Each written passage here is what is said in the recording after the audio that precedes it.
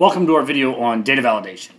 Data validation is a tool that we can use to control the type of data that we enter into specific cells within Microsoft Excel. This can be useful for uh, ensuring that the data is clean for when we want to run statistics or formulas against it.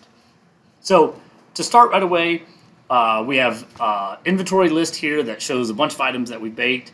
What we want to do is enter in the quantity of items that we baked, the type of item it is, and then the date that we baked it. So to start this, I want to click in cell B4. Uh, we're going to click our data ribbon, and we're going to come over and find data validation.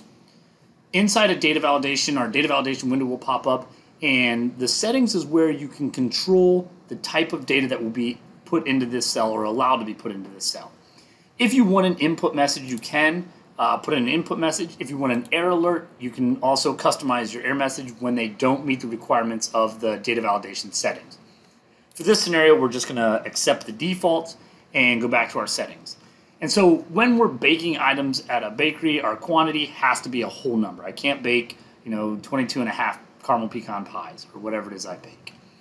So in our allow statement, we're going to click the drop down menu and we can see we have the option of a whole number, a decimal, select from a list, a date, a time, a text length, or some custom configuration. Most of these are self-explanatory. The custom ones allow you to be uh, very specific if you need to be. The text lengths one is useful if you know the data you need to be entered in it has to be seven characters. And say your employee ID is seven characters. And so you set a text length to seven, and that way they always have to enter seven. In this scenario, though, our quantity, it has to be a whole number, right?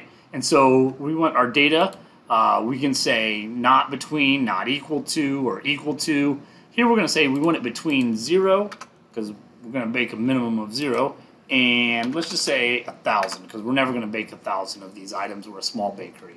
And we say OK. Now that's set the data validation rules on cell B4.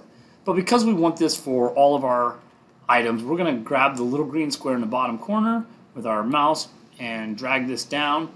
And this is set the data validation rule for all of these cells. And we can test this by selecting, you know, B30 and try entering in 5,000. When we hit enter, this is the default error message that Microsoft Excel gives us.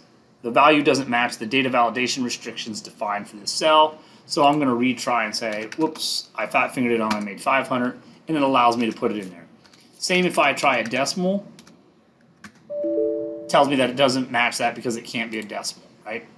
So that is setting a whole number quantity um, data validation. We can do other things. I want to quickly show us date baked. Uh, so we're going to do our data validation. And here we're going to say we want this to be a date.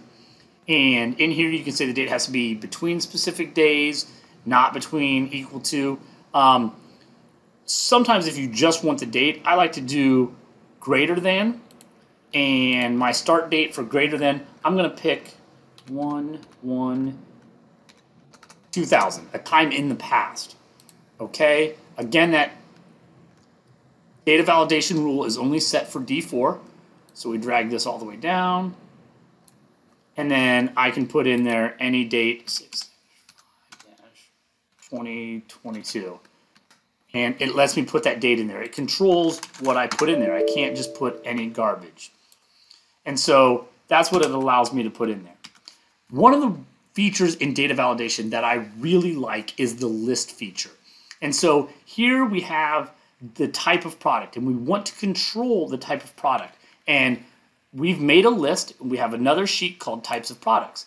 And so these are fudge, pie, cake, muffin, or bread. And that's, again, the items we bake in this inventory.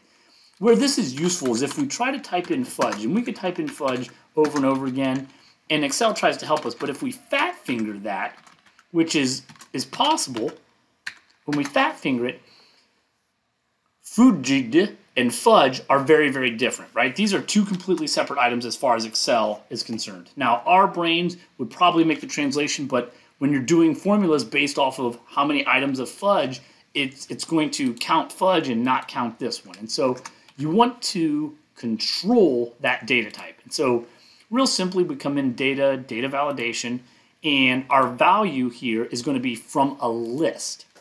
It's going to ask us where our source of this list is. we're going to click our up arrow. We're going to come back to our types of products and we're going to simply select fudge, pie, cake, muffin, and bread. And if we think in the future we might add a few items, we can select some blank spaces as well. And that'll allow us to grow this list and not have to change our data validation type. And so we say okay to this. And now you can see in here, it gives us our options of fudge, pie, cake, muffin, or bread. Notice again, it did not give us anything in any of our other cells. So we want this option to be available for all of our cells. We're going to click the little green box, drag down. And now you can see any one of these has the drop-down menu. If you are a keyboard user, you can still type fudge, pie, cake. I put a space, so it's not going to let me put cake space, cake, muffin, bread. You can type any of these in, or you can use the drop-down menu, and it will only allow you to select them. And since we made our drop-down menu longer, um, let's say we add a new item to our list called cupcakes, right? Or cupcake. And now we can come back here and you can see cupcake is now an option. And you can go back and change cupcake to any one of these. So data validation is designed to control the data that's being put in there. Again, if you want to control the quantity, the date, or in my preference, I really, really like lists because then we can always reference a list. Hope this is helpful.